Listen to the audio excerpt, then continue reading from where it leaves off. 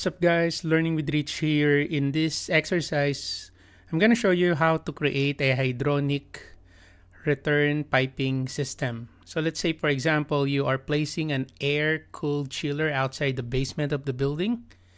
That is what we are to do.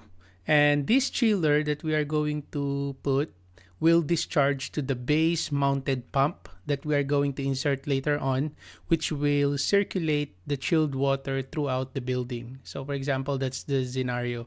So we're going to place mechanical equipment that will gonna be our uh, base mounted pump. And also we are going to create the hydronic return system layout. And then I'm gonna show you how to edit the piping system properties. And then let's try to uh, size the piping system. Okay, so let's do this. As you can see, there's already the insertion point for the chiller as well as the base pump. Okay, so we already have here our equipment. So this is an AHU inspection module. So in 3D view, this is how it looks like. Do we have a separate 3D view here? No? Okay, so I'll just click this one. Okay, so this is how the model looks like. Okay, so by the way, if I'm gonna click this one, this coil here, you will notice we have here several connectors, right? So we have a connector for the supply. We have a connector for the pipe here. Okay, so if you want to check what type of connector is this one, so what you do is just click the family and then edit the family. Okay, and then you can now see here the type of the connector that we have here. So this one, okay, this is our uh, hydronic supply connector.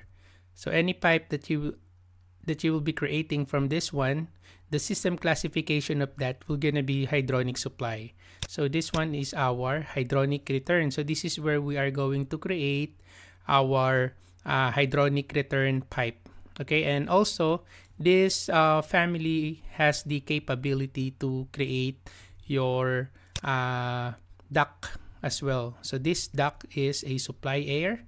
So the flow direction is bidirectional and then this one here is also a connector for your uh, duct. So this is also a supply air just like the other side. Okay, so we have here how many connectors? So we have four connectors. Okay, so supply and return pipe. And then this one is supply duct and then supply duct. Okay.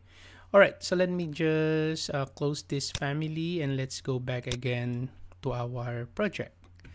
Okay. So here I'm going to select one dash Mac. I'm going to select here view and then select tile view so that I'll be able to see the 3D model here as well. This one. Okay. So let's insert first our mechanical equipment. Here, the chiller. Mechanical equipment, let's go to the Systems tab. Mechanical, you can click Mechanical Equipment. The shortcut is ME. In this exercise, the chiller and then the base pump is already loaded in the project. In case it's uh, in case it's not yet loaded, so you can go to Mechanical Equipment and then you can select Load Family and then locate the family that you would like to insert in your project. Okay, now for this one, chiller is already selected. This is the one that I'll be using. So I'm now going to place my chiller. So you can press spacebar. Do not click yet. You can press spacebar to rotate. Spacebar again. And then spacebar again. There you go. So that's the position that I prefer for the chiller. So I'm not gonna place it here. There you go.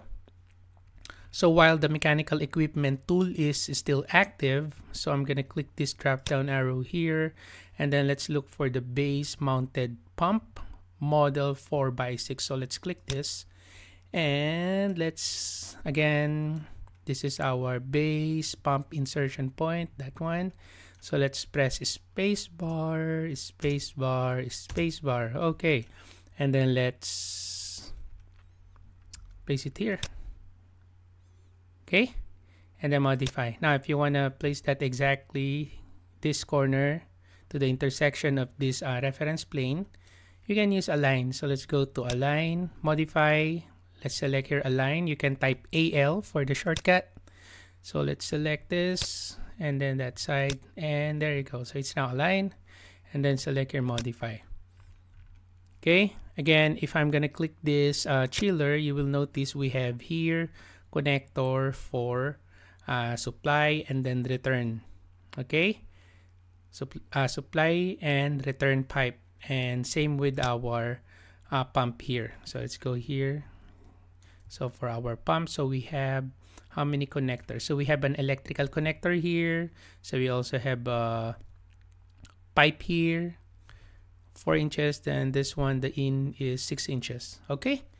Right so after we place our equipment the next thing that we will be doing is we're going to create relation between this uh, coil here this one and also this one okay? So we are going to create a relation to this uh, coil.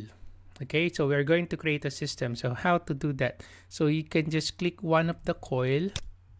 And then after that here on our create system so you have two systems here that you can create. You have duct system and then you have piping system.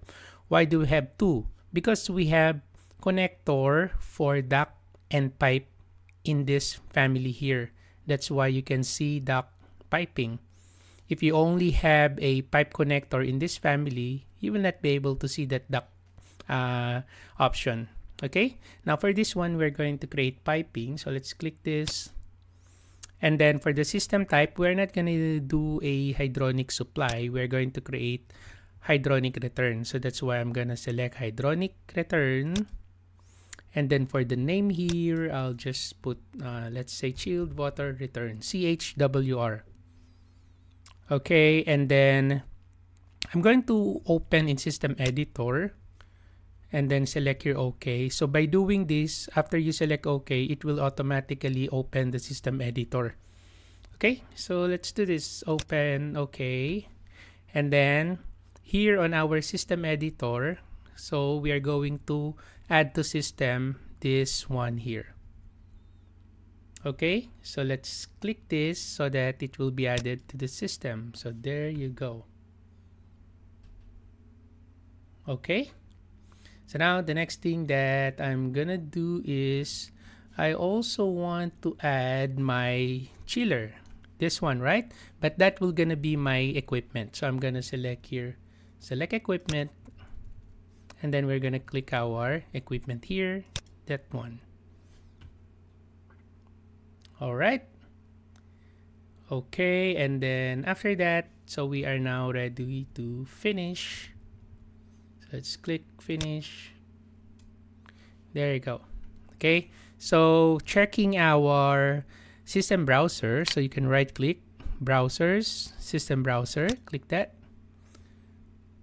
okay and then you can see here we now have one piping system. So if you expand that so we now have here our chilled water return pipe. And then we have there our system classification. Then we have the equipment here. So it will highlight you will notice it highlights. And then this is the name of the system.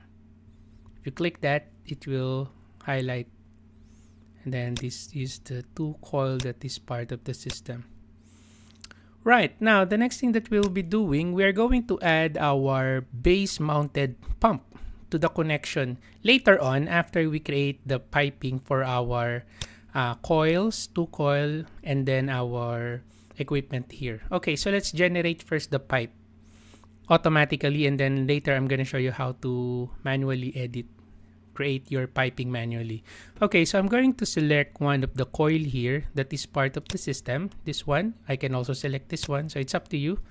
So I can click one and then after that from the layout, so there is this tool connect into. Okay, so let's click this one.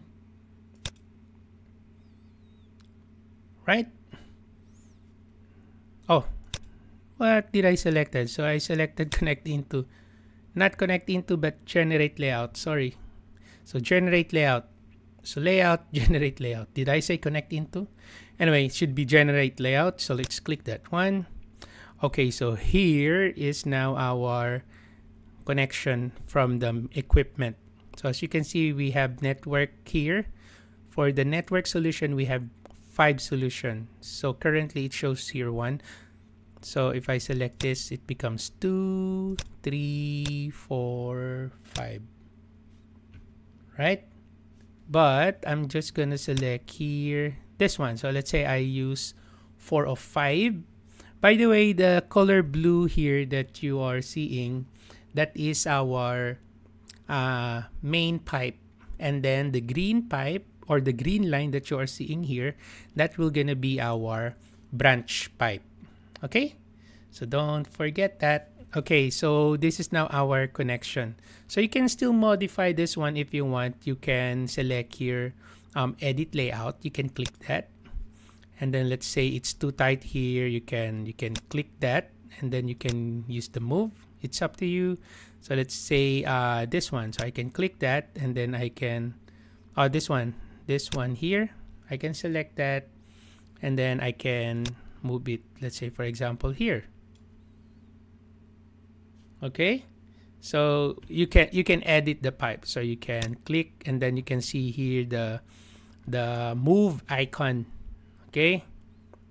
And then you can go back again to the solution if you want. And then that's it for this one. So if you're gonna click the if you're going back to the edit layout you can click the pipe here or the main pipe branch pipe, you will notice here the height, right? So that is the height by default of our pipe after we create it. So later on, we can still modify that. Don't worry. So I'm just showing you how to use automatic layout. So after that, let's finish the layout. Let's select finish layout and there you go. So we now have our connection here. Okay, so what we're gonna do is we're going to include our pump here to our connection. Okay, we're going to connect that here. Okay, so here on my top view, so I'm going to split my pipe. Okay, so let's now do this manually.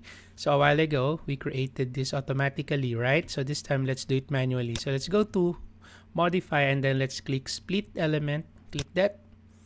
And then I'm gonna check here, delete inner segment so that when I click two points, one, two, it will create an opening and then select your modify.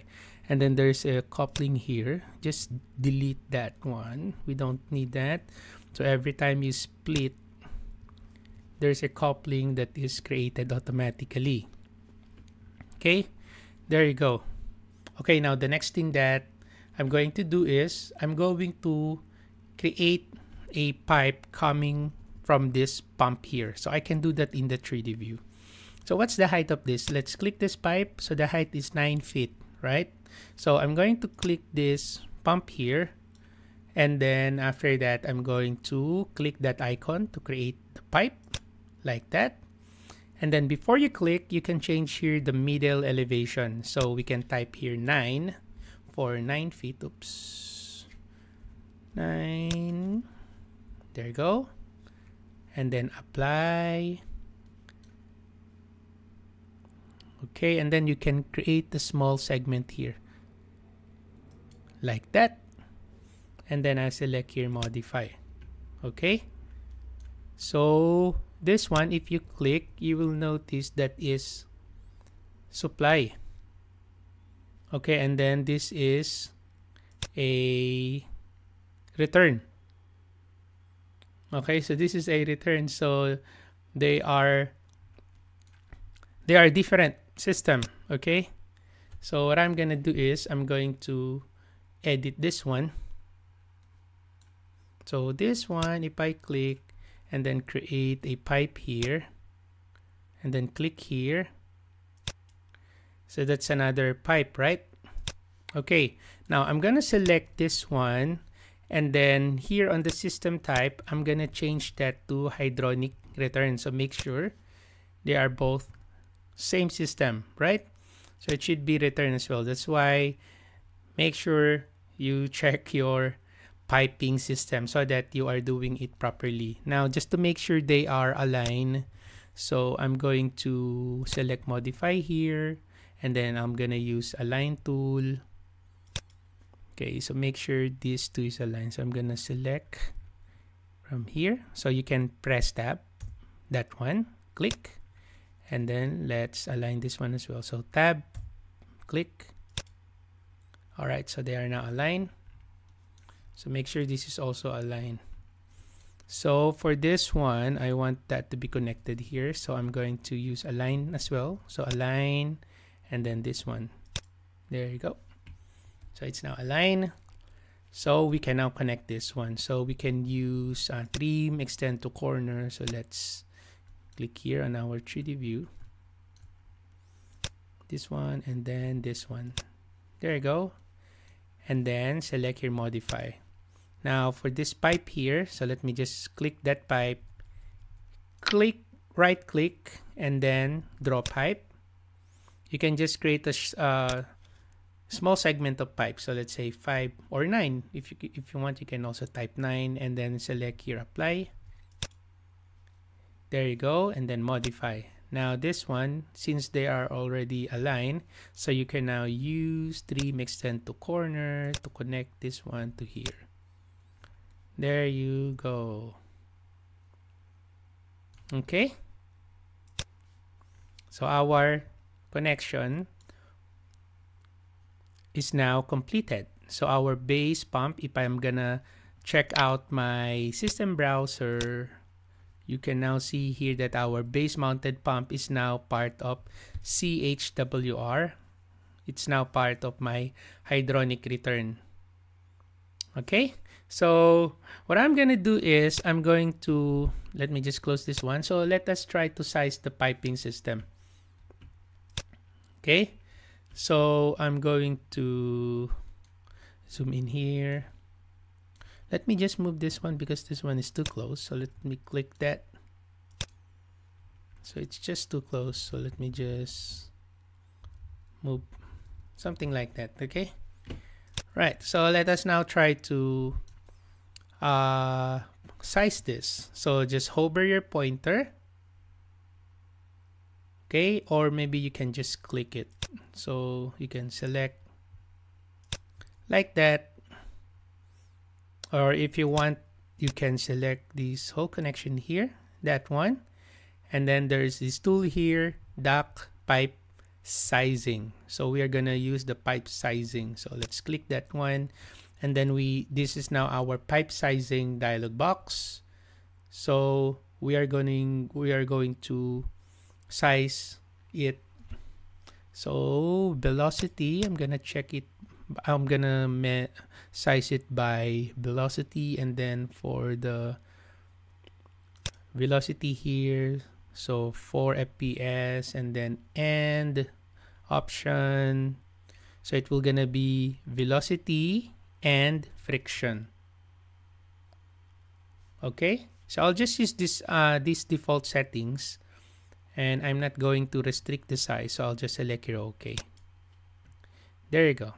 So it's now size based on that uh, sizing method okay? So Revit will size that automatically. There you go. This is our exercise for system piping. So this is how you do it. So you can create it automatically and then you can also create it manually okay? So automatically I would suggest you only do this if you are just on conceptual design, if you just want to create a quick layout just to show to your client that this is your capability, you can do this. And you can also create manually. Okay, so manual, you, you use that during the design already. You don't do automatic during the design. So it would be better just do it manually. Okay, so based on the engineer's uh, design. All right, so there you go. So hopefully you learned something from uh, this video. If you have any comments, questions, or suggestion, you can put it on the comment section below and I'll get back to you as soon as I can. Thank you for watching guys. Have a nice day.